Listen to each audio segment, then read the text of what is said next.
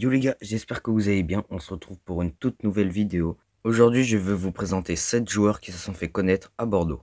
Avant tout comme d'hab, si vous voulez soutenir la chaîne, n'hésitez pas à vous abonner, à liker et c'est parti pour la vidéo. Bichente Lizarazu a été formé au Girondins de Bordeaux avant de devenir une légende du Bayern de Munich et de l'équipe de France. Il a plusieurs fois été élu meilleur arrière-gauche de Ligue 1, portant même le brassard de capitaine. Il s'illustra notamment dans l'Europa League de 1996 en allant jusqu'en finale, mais en perdant 5-1 face au Bayern de Munich. Il jouera 324 matchs chez les Marinés Blancs et plus de 700 matchs dans toute sa carrière. Il a gagné la Ligue des Champions, la Coupe du Monde, la Coupe de France, 6 fois le championnat allemand, la Coupe des Fédérations, 5 Coupes d'Allemagne et plusieurs autres trophées. Il est actuellement commentateur sportif. Ulrich Ramé est sûrement le portier le plus iconique des Girondins de Bordeaux, comptabilisant plus de 500 matchs avec les Marinés Blancs. Il gagnera l'Euro 2000 avec les Bleus, la Coupe des Fédérations, deux fois la Ligue 1, trois fois la Coupe de la Ligue et deux trophées des champions. Il finira sa carrière au CS Sedan Ardennes. Jules Condé se montrera comme une pièce maîtresse dans l'équipe jeune des Girondins. Étant capitaine dans presque tous les matchs qu'il a joués, il gagnera notamment la Coupe de France de U19 avec le brassard autour du bras.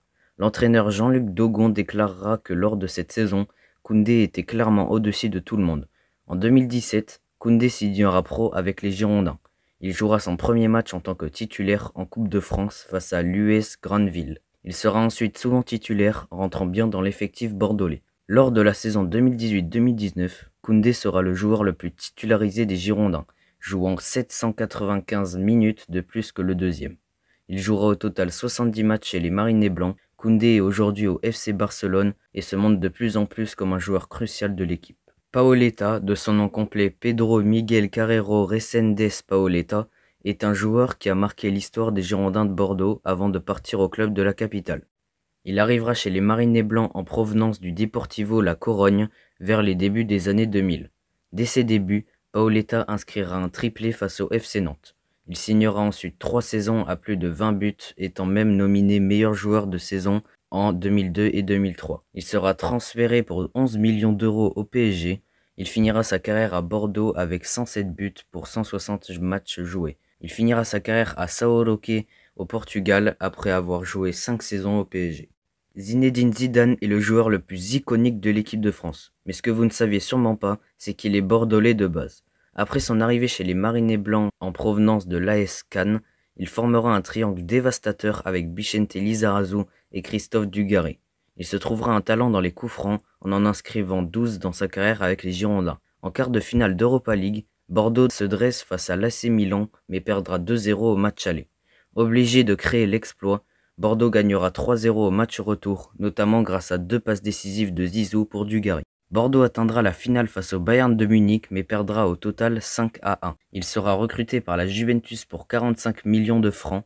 Il passera plus tard par le Real Madrid, devenant même coach des Merengues. Il jouera en tout 196 matchs chez les Girondins.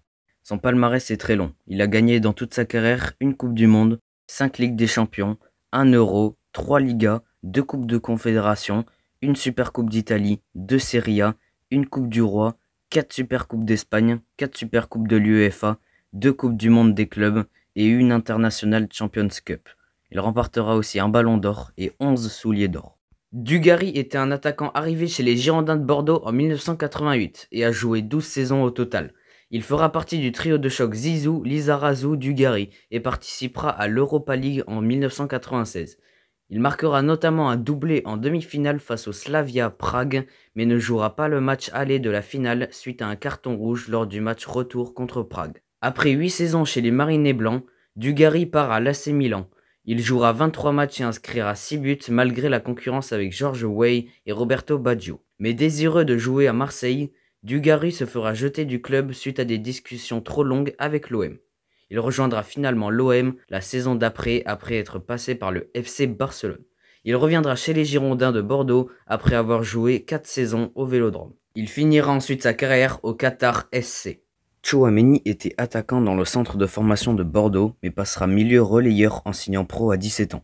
Il jouera son premier match en tant que titulaire face au FK Ventspil lors du deuxième tour de qualification de l'Europa League. Il marquera son premier but avec les Girondins lors du troisième match de qualification. Il jouera ensuite trois saisons à l'AS Monaco, puis en 2022, il rejoindra le Real Madrid.